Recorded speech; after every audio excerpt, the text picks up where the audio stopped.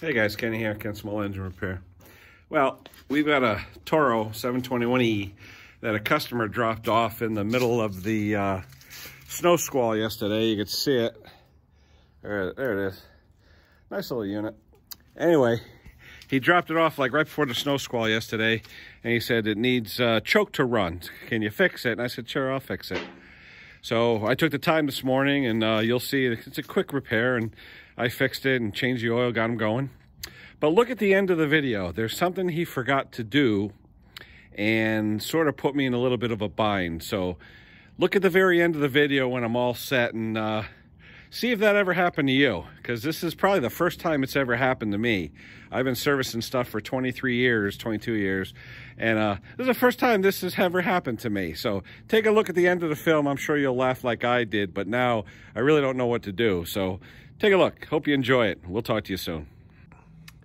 Yeah, as you can see, I just took out the drain cap of this Toro 721E Power Clear, and it's level. You can see the engine's level. When the engine's level, you shouldn't have that much oil coming out of it when you take the dipstick out. So this engine was way overfilled. Now the complaint that this customer had was basically he couldn't run it without choke being on, so the carburetor needs to be cleaned. But I figured before I clean it, he gave me a quart of synthetic 5W30. So I'll change the oil, but I just wanted to see. Uh, I'd like to take the oil out before I even work on it, because that way I don't have to tip it over. But look at all that extra oil in there. There's probably you know, maybe five, six ounces of oil in there that's overfilled. And these things only take about 16 ounces of oil, so it's pretty overfilled. So I'm gonna drain it out tip the thing over, and then we'll see how the carburetor looks. I may not have to take the carburetor off because it's, it's easily accessible. So let me see. I'll be right back. You can also see on these Toro engines, the vent tube, you can see it's actually coated with oil on the end of it. These valve covers, if you tilt the snowblower back, a lot of people tilt them back to put them in their cars and their trucks. The problem is when you tilt them back, this thing fills up with oil and it goes through this hose and it'll pour all over the place. So people think that it's got a massive oil leak. Well, no, you're not supposed to tip these things over. If you keep them upright, if you're going to transport them for an extended period of time, drain the oil out and then transport them if you must tip them over. Okay, this way you don't get oil all over the place, okay? Or if you're going to tip it over, put a plug in that hose so it doesn't plug out and then tip it over and let the oil drain back in. This way you won't have a massive leak. As long as you know there's going to be oil coming out of that tube, you can allow for it. All right, I'll be back. Well, we took the bowl off with a 10 millimeter nut on it and uh, there is some water in there. You can see a little bit of water in the bottom of the bowl. You can see the water jiggling. So it wouldn't have caused it to use choke all the time, but it, is, does mean it was dirty in there and you can see a little bit of discoloration inside the bowl. So I'm gonna reach up into the carburetor with a screwdriver. So let me get the jet out, see if we can inspect it. Hopefully just the jet is clogged, but uh, we'll see. Let me grab a screwdriver, we'll be right back. All right guys, we got lucky. We were able to get up into the carburetor with a screwdriver. I have an old, uh, or is it an old Klein screwdriver, works great on these jets. I was able to get up in there and get it, and as you can see, it is clogged. You cannot see, you can't see through it. All right, that's a white paper down there, and you, you can't see through it, so the jet is clogged. So hopefully that will be the only problem with this carburetor. I'd like to get the emulsion tube out, but in order to do it, you got to take the carburetor off, and I don't really want to spend the time to do that if this is the only thing that's going to be wrong with it. But what I did find is the hidden dipstick that causes so much trouble. I noticed, see the oil dripping down here? I'm like, where the heck's all that oil coming from? Well, if you notice, you have the rear dipstick that you use, but look up there, folks. You got the front dipstick. Let me see if I can get in there. Uh, right there. See that orange? Right there. That orange, that's the dipstick. That's this dipstick on the bottom. Okay, yeah, there you go. There you go. You can see it. That's the hidden dipstick that nobody really knows about. And unless you know to look for it, You may not find it, and oil will leak out of there. It does loosen over time. This one was loose. I stuck my hand up there, it was loose. So I'm gonna tighten that up, and that way he won't get any more of these oil leaks coming out the front of the engine. So you definitely get oil leaks if you don't have that front dipstick tightened and people don't even know it's there. So that's just another tip for you guys. So hopefully cleaning out this jet, we're gonna go get our uh, pipe cleaners for the jet. We'll clean that out. We'll put it back together. We'll see how this thing runs. We'll put oil in it. Hopefully that'll be it. So we'll be back with you shortly. All right, we're gonna clean out this jet. So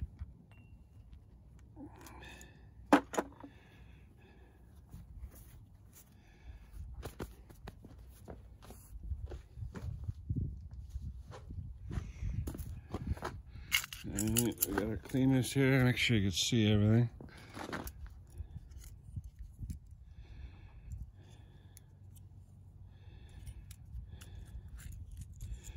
Alright, let's get a cleaner that we think's the right size.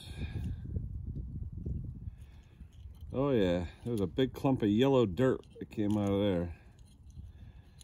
So let's get that cleaned.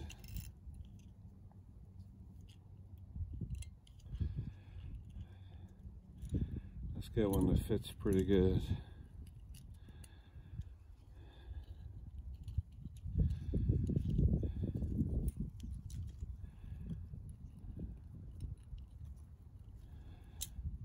Uh, I think this one's going to be the one that matches. Yeah. So we're going to clean that out.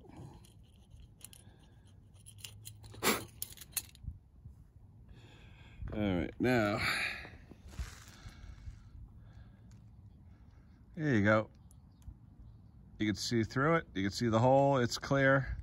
We're going to put this back in the carburetor. Let's see. All right. Oh, let me see if I can set you up here.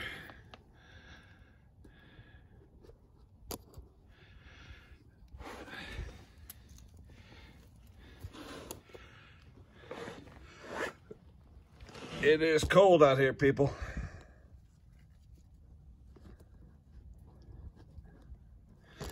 All right. Let's see, camera rolling, yep. Make sure. Yep, you're rolling. All right. Let's get that jet back up there. Actually, before I do that, I'm gonna I'm gonna let a little fuel come out because the water goes to the bottom. So let me tip it over and let a little bit of fuel out.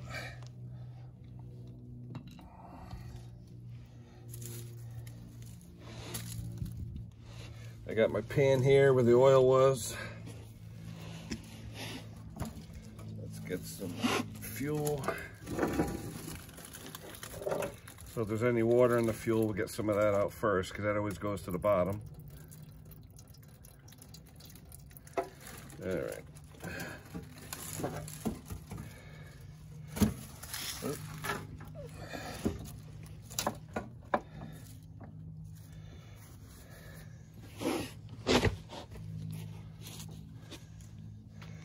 All right.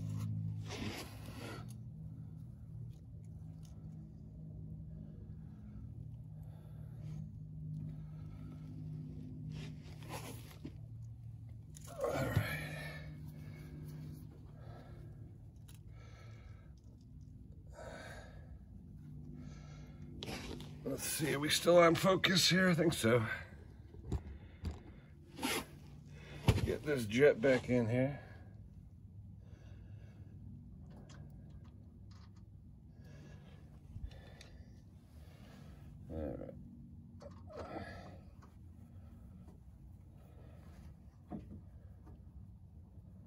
Not too tight, it's brass, you don't want to strip it.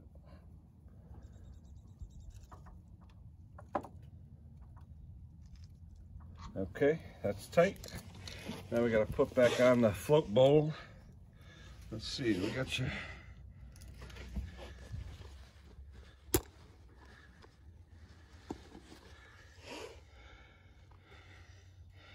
Yeah, we got a good picture there.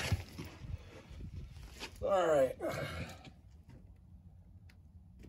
So, float bowl was a little crusty. We're gonna spray the float bowl with a little bit of carb cleaner.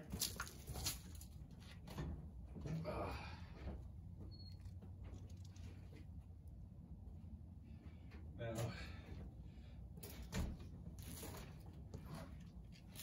this STP cleaner isn't the best for rubber parts, but for clean, cleaning out float bowls and stuff like that, it's all right. It's okay for that.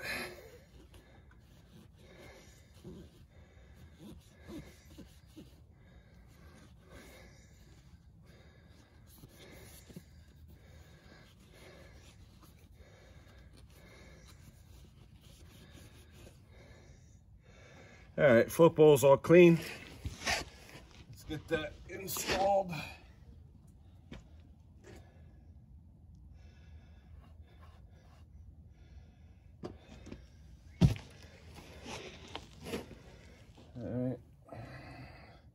Usually you put the drain where you can access it.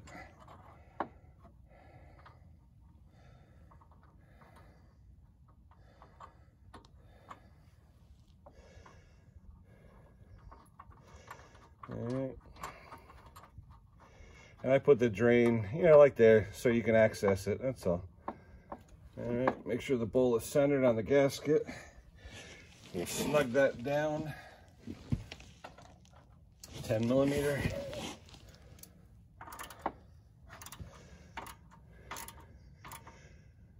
Not too tight. Click, okay. Now, I gotta wipe some of this oil off. You got a bunch of oil here from where it was leaking out. And you can see it leaking all over the place. Let me wipe all this stuff off. I'm gonna tighten all the plugs.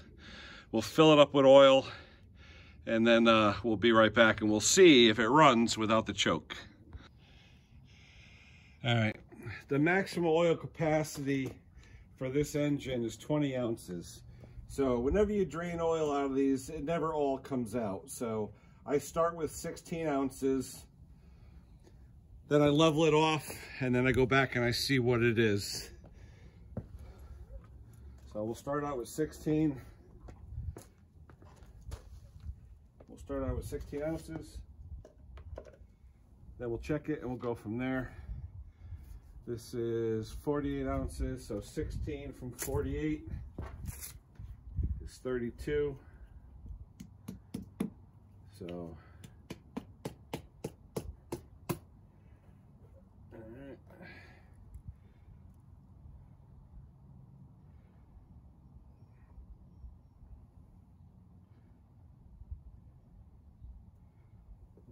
So, so we'll wait till we get about, let's see, 32. We'll, we'll go to, let's see, a little bit more. I'm gonna put in about 16, 17 ounces, and then we're gonna check it. This is a synthetic 530 that he bought, which is fine. He got it at Home Depot, but that's okay. It's synthetic, it meets the small engine specification, so.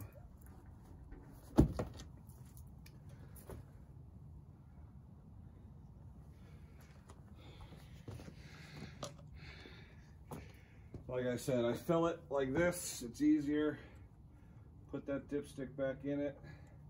Then I'll make it level.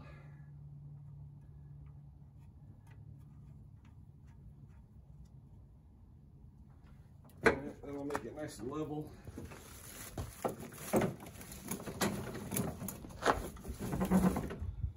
Okay. I'm gonna let it sit for a minute. Then I'm gonna pull the dipstick out and I'm gonna see where the dipstick is, where the oil is on that dipstick. It should just be coming out. The oil should just be coming out. Literally not coming out, but just coming out, like right at that edge. And that's where it's good. So let me come back to you in a few minutes after it levels off for a little bit and then we'll see where the oil level is. All right, guys. I took the dipstick off and it didn't dribble out, which means it's not fully full. So we'll put a little bit more in there to bring it up to where it's supposed to be. Again, these crankcases are full when it's just up to the top of the threads. Not massively dripping out, just up to the top of the threads. So I put in 16 ounces. So now I'll put in another couple and we'll see where we are. I'll tilt it up a little bit just to make it easier. All right. That's just a couple of ounces. Make sure it goes all in. Okay. We'll let that drain in there for a second. All right. And if you notice right now, the oil is right up to the thread. See, if I tilt it just a hair, it starts to drip out. So it's right up to the threads. That's where you want to be. That's where your oil is full. So I'm gonna put this dipstick back in.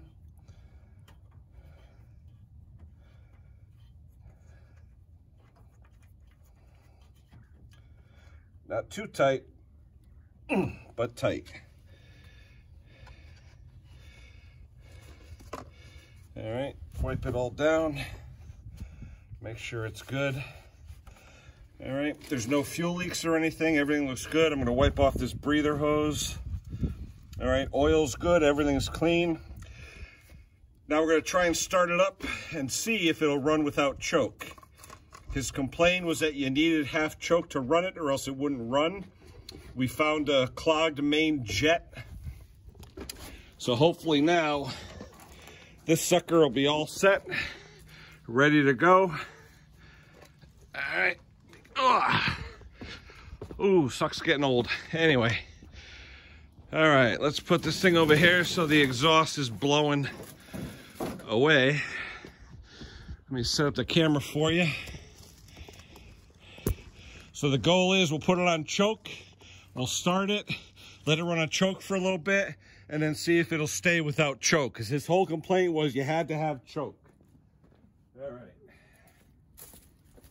We cleaned out the carburetor.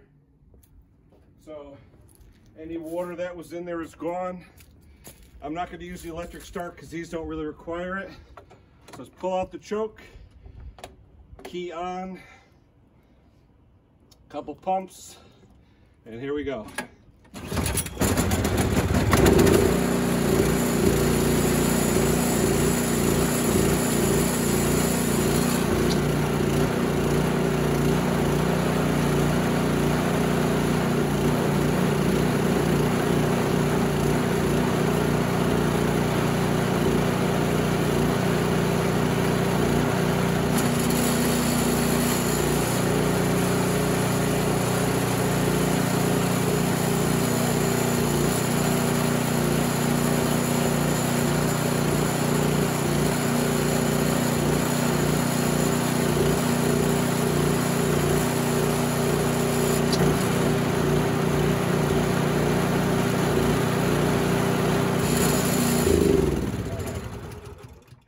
A win, baby. So basically all it was, guys, was the clogged main jet. So that was a simple repair. So I'm gonna call the guy up, he's a neighbor, tell him to come get it. We found the loose extra dipstick in the front, so that'll help him to not lose oil. We'll also tell him that the oil level in these is only supposed to be 20 ounces, and I'll show him how to check it. But he's gonna be happy, I'm gonna be happy, another happy customer. All right, guys, that's it for now. If you got one of these Toros with the 212cc engine or even the smaller ones with the 141 or even the 99, check the double dipsticks if they're there and also check your jets to make sure they're clean. That's it for me now, guys. We will talk to you soon.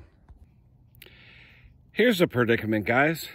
I finished a snow thrower for my neighbor and I want to have him pick it up, but you know what? I don't know his name. I got a bunch of neighbors. I got a ton of neighbors, actually, a million of them. And uh, this guy didn't leave his number on the unit. And I don't know where the hell he lives, which house, who he is, because I service everyone's stuff around my neighborhood. I really don't know where the hell this guy lives or what his first name is. So I can't look him up on my phone. I just don't know. So I'm going to put a big note on it that says done. And hopefully he sees it during the day when he walks by. Because at this point, he told me no rush, but without leaving a phone number, how the heck am I supposed to get in touch with the guy?